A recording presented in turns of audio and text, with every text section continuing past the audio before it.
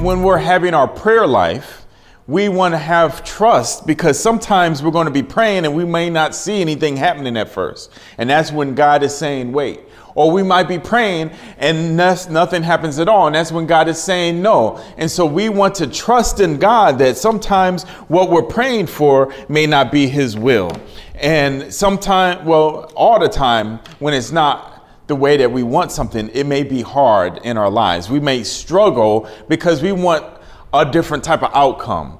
But God knows the end from the beginning. So we want to trust. So that's where we want to start our foundation is trusting in God.